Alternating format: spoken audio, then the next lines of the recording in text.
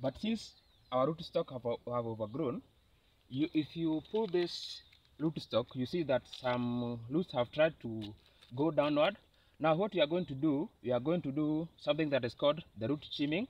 You come and catch your rootstock and then you drive the panga beneath the, the polythene, the polythene paper. Then if you select the rootstock that you have selected, you check at the size of it, then come and select the scion, that is the tree tomato, or the the Lodama giant sun that we are going to use, and put it.